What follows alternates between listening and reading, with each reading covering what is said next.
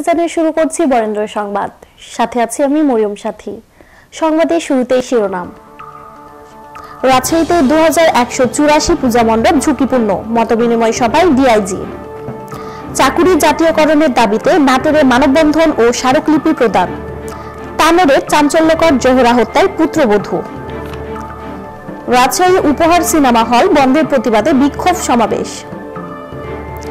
প্রথম ও দ্বিতীয় শ্রেণির চাকুরিতে কোটা বহালের প্রতিবাদে সড়ক অবরোধ। রাজশাহী পুলিশের অভিযানে আটক উনচল্লিশ মাদকদ্রব্য উদ্ধার। রাশিকের উনিশ নং ওয়ার্ড কার্যালয় উদ্বোধন।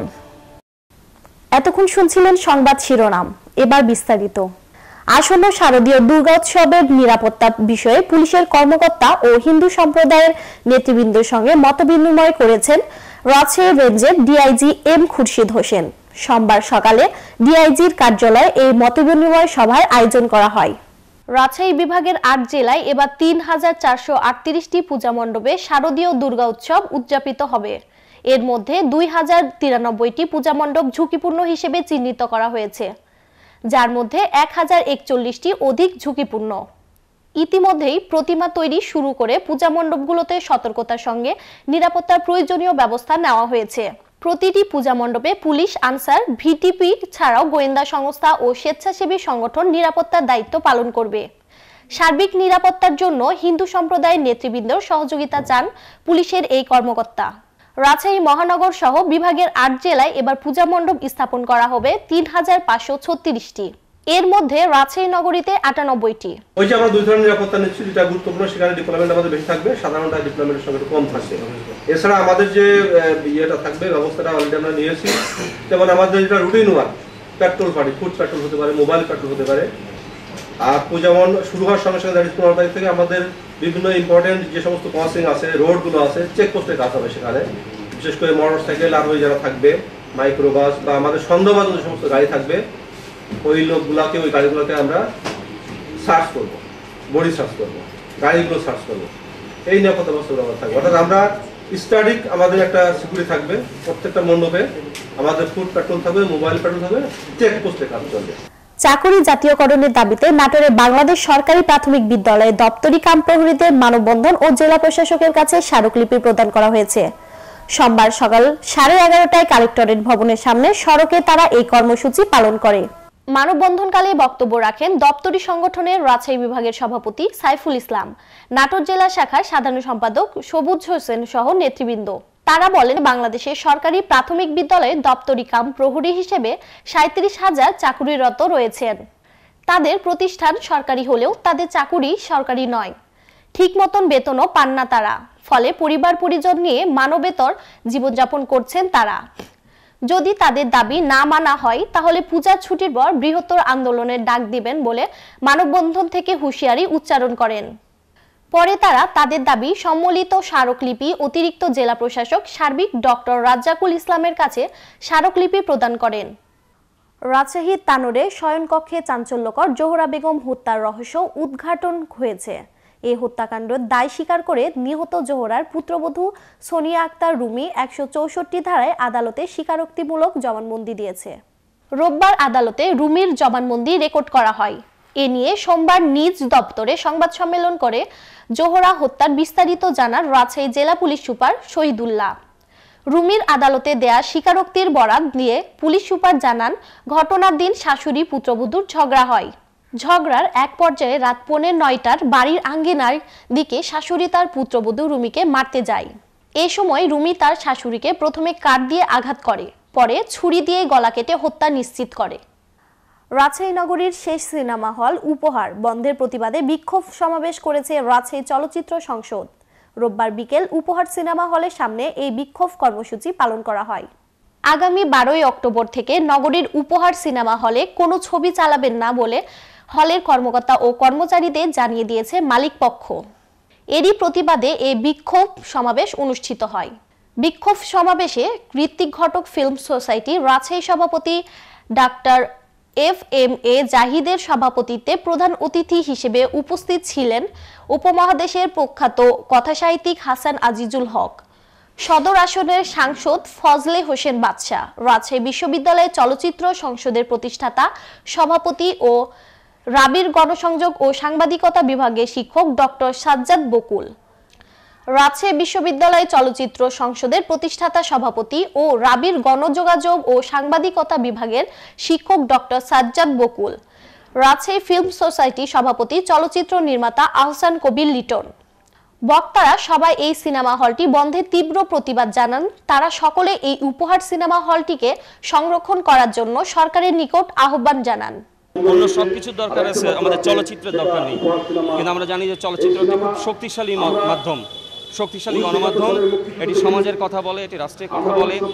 আমরা উনিশশো উনসত্তরে সেই জীবন থেকে নেওয়া ছবিতে আমরা দেখেছি যে সেই যে সামরিক শাসক আয়ুব খানের সেই দুঃশাসন কিন্তু আমরা সেই চলচ্চিত্র দেখেছি। এবং সেই চলচ্চিত্রের মাধ্যমে কিন্তু আমরা একটা দানাবাদ আন্দোলন দেখেছি। আমরা একাত্তরে দেখেছি এই ছবিগুলো বিশ্ব বিবেককে নাড়া দিয়েছে। এখন নানা সময় আমরা বিভিন্ন ধরনের চলচ্চিত্র নির্মাণ নির্মাণ হতে দেখি। এই উপহার হলেই আমরা কিন্তু হালদা ছবিটি দেখেছি। যে আমাদের চট্টগ্রামে যে হালদা নদীর যে মাছগুলো নষ্ট হয়ে যাচ্ছে সেই বিষয়টাকে কেন্দ্র করে হালদা ছবি নির্মিত হয়েছিল সেই ছবিটি এখানে প্রদর্শিত হয়েছিল। অনেক মানুষ আমরা কিন্তু দেখেছি। একটা বিভাগীয় শহরে একটা চলচ্চিত্র প্রেক্ষাগৃহ শেষ পর্যন্ত টিকে থাকবে না একটাও থাকবে না। এটা অবশ্যই একটা অশনি সংকেত। এটা আমাদের এখনই পদক্ষেপ নেওয়া উচিত। অন্তত পক্ষে একটি হলকে টিকিয়ে রাখা আমাদের খুবই জরুরি। উপরে মানুষের যে আগ্রহ যেটা এখনও রয়েছে কিন্তু সেটাকে উপেক্ষা করা হচ্ছে। আমি সাংস্কৃতিক মন্ত্রণালয়কে বলব যে এখনও আমাদের আমাদের পার্লামেন্ট আছে, আমাদের একুশ তারিখে পার্লামেন্ট বসবে। আমরা এটা পয়েন্ট অফ অর্ডারে আমরা এটা তুলব যে তারা তারা যেন রাষ্ট্রীয় উদ্যোগে আজকে সিনেমা হলগুলোকে রক্ষা করে। আর আমি রাজশাহীর ক্ষেত্রে বলব যে আমাদের অলকা হলটাকে আমরা চালু করতে চাই। আমরা, আমি মনে করি যে সাংসদ হিসেবে আমার যা দায়িত্ব আছে, সেটা তো আমি পালন করব। সঙ্গে সঙ্গে আমার মনে হয় যে আমাদের নবনির্বাচিত মেয়র, তিনিও এই দায়িত্ব পালন করতে পারেন। এবং আমরা যৌথভাবেই এখানে একটা আবার একটা আধুনিক একটা আধুনিক, আজকে সময় উপযোগী একটা সিনেমা হল আমরা গড়ে তুলতে পারি এবং পৃথিবীর বিভিন্ন বিখ্যাত ছবি এখানে প্রদর্শনী হতে পারে। এবং এটা নিশ্চয়ই নতুন প্রজন্মের জন্য ভালো হবে। হ্যাঁ নানান দেশ থেকে চলচ্চিত্র এসছে। যেমন এখনও গোটস অফ হর্ন বলে একটা ছবি এসেছিল। আমি এখনও হ্যাঁ? হ্যাঁ। মনে হচ্ছে হ্যাঁ। গোটস হর্ন তার কোনো তুলনা হয় না। এরকম বুলগেরিয়ান ও বুলগেরিয়ান বুলগেরিয়ান আট দশটি ছবি ভারতীয় ছবি তো আসছে। হ্যাঁ এবং ভারতীয় ছবির মধ্যে পশ্চিমবাংলার ছবি, কলকাতার ছবি। হ্যাঁ তখন এক একজন নায়ক। হ্যাঁ বলতো যে, কলকাতা কার? উত্তম সুচিত্রার কলকাতা। হুম এরকম এবং সেই, ঠিক সেই রকমভাবেই ইয়ে কুমার, কি বলে, আমাদের বিখ্যাত ইয়ে কী গো, দিলীপ কুমার। হ্যাঁ এদের সব নাম, আর এসব নায়িকাদের নাম আমাদের মুখস্থ ছিল। এবং মানে বলা যায় পথে ঘাটে এদের গান গাওয়া হতো আর কি। সে একটা আবহাওয়া ছিল। সেটা সম্পূর্ণভাবে নষ্ট হয়ে গেছে। সম্পূর্ণভাবে নষ্ট হয়ে গেছে। মানুষ যে কীভাবে আজকে বিনোদন শূন্য হয়েছে, তার মানে সংস্কৃতিহীন হয়েছে, সেটা বুঝতে পারা যায় এখন। কাজে রাজশাহীতে যেটুকু অবশিষ্ট ছিল, সেটাকেও একেবারে বলা যায় মূলে উৎপাদিত করছে। এটা একেবারেই ঠিক কথা নয়। আমি এখানে এসেছি এই প্রতিবাদটুকু জানানোর জন্যে। কিছুই ছিল না, যাই হোক। উপহার সিনেমা হল তো শেষ পর্যন্ত এখানে এখনও ছিল, সেটাকেও এখন তুলে ফেলা হবে আর কি। তা আমাদের এখানে সব মানে কি বলা যায় সিটি ফাদার এরা সব এখন আছেন। তারা এক- একজন পাশেই বসে আছেন, জননেতা। ওদিকে আমাদের ইয়ে খালিরুজ্জামান লিটন। এখন বল একার্থ বলতে পারি যে ঢেউ এখন উল্টো দিক থেকে বইছে। আমরা মনে করি যে সেই ঢেউ প্রবল হয়ে রাজশাহী আবার অত্যন্ত জীবন্ত সাংস্কৃতিক একটা শহর হয়ে উঠবে। এটা আমি দাবি করছি এবং এই উপহার সিনেমা যেটা এখনও টিম টিম করে চলছে সেটাকে টিকিয়ে রাখতে হবে। যেমন করেই হোক প্রথম ও দ্বিতীয় শ্রেণির চাকুরিতে কোটা বহালের প্রতিবাদে সড়ক অবরোধ করেন রাজশাহী বিশ্ববিদ্যালয়ের প্রতিবন্ধী শিক্ষার্থীরা। সোমবার দুপুরে রাজশাহী বিশ্ববিদ্যালয়ের সামনে সড়ক অবরোধ করে তারা প্রতিবন্ধী কোটা বহালের দাবি জানান। এ সময় রাজশাহী ঢাকা মহাসড়ক যান চলাচল বন্ধ হয়ে যায়। তারা দাবি করেন যে আমরা সমাজের বোঝা হতে চাই না, আমরা কর্ম চাই। আমাদের দেওয়া রাষ্ট্রীয় প্রতিবন্ধী পুনরায় চালু করতে হবে। অন্যথায় আমরা বৃহৎ আন্দোলনের ডাক দিতে বাধ্য হব। রাজশাহী মেট্রোপলিটন পুলিশের বিশেষ অভিযানে মোট উনচল্লিশ জন আটক ও মাদকদ্রব্য উদ্ধার। রাজশাহী মহানগরীর থানা ও ডিবি পুলিশ মহানগরীর বিভিন্ন স্থানে অভিযান চালিয়ে বুয়ালিয়া মডেল থানা বারো জন, রাজপাড়া থানা ছয় জন, চন্দ্রিমা থানা দুই জন, মতিহাট থানা ছয় জন, কাটাখালী থানা তিনজন বেলপুকুর থানা তিনজন শাহমুকদুম থানা একজন পবা থানা একজন কাশিয়ারাঙ্গা থানা চারজন দামকুড়া থানা একজনকে আটক করে। যার মধ্যে চোদ্দ জন ওয়ারেন্টভুক্ত আসামি। সাতজনকে মাদকদ্রব্য সহ ও অন্যান্য অপরাধে আঠারো জনকে গ্রেফতার করা হয়েছে। হেরোইন ও মাদকদ্রব্য উদ্ধার করেছে।